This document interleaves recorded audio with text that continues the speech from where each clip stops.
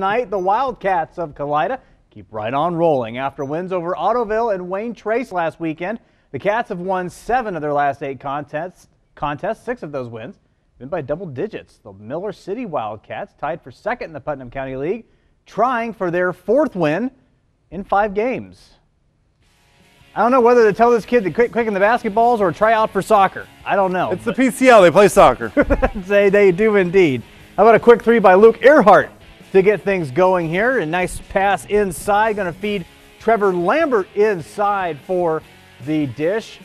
Kalida up big here in the third quarter. John Burguy with the floater would keep him in it, but final in this one tonight, Kalida 59, Miller City 25, and Kalida has clinched at least a share of the Putnam County League title. They can wrap it up with a win against Continental next week. Earhart with 14 points and three boards. Trevor Lambert chipping in 13 points and 11 rebounds, a double double for him tonight.